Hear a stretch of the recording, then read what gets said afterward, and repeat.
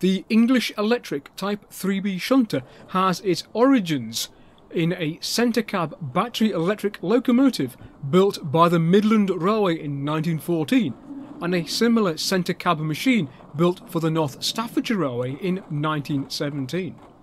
The first of these handy English electric shunters appeared in 1920, built by Dick Kerr and Company of Preston on behalf of its parent organisation, English Electric. Others would be later assembled by the Baguley Drewry Car Company of Burton upon Trent. They were built for a variety of gauges and could be operated by battery power from overhead line equipment using a pantograph or trolley poles, or both. At least 34 of them were built, of which works number 1378 was built by Dick Kerr and Company for the South Wales Electric Power Company's generating station at Upper Boat.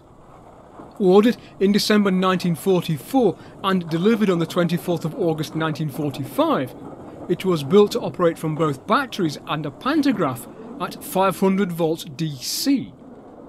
The pantograph was used around the generating station but the batteries were resorted to when shunting on the Great Western Railway Exchange sidings, for which reason the locomotive was registered with the Great Western Railway.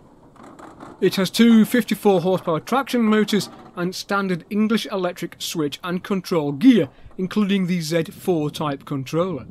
It has both hand and regenerative braking. The builder's manual suggests it is capable of moving loads of up to 275 tons on the level at 4.8 miles per hour.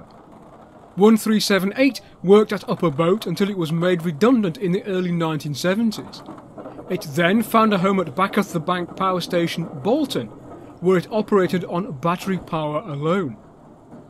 It was the first locomotive to work at Back o' Bank as a steam engine supplied in 1951 had proved unsuitable, and that subsequently went to work at Agecroft Power Station in Salford in 1954.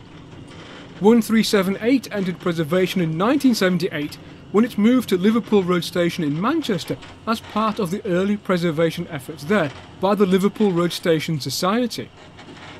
The locomotive travelled on the main line from Bolton, hauled by a Class 40 diesel, and sandwiched between two BR brake vans.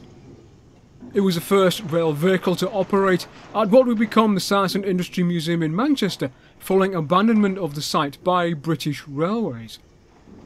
At the museum it saw very regular use as a shunter and as a standby Thunderbird locomotive to rescue demonstration steam trains. The English Electric Type 3B shunters are characterful, handy little locomotives. They're easy to drive with excellent visibility and plenty of power. They are, to coin a phrase, really useful engines.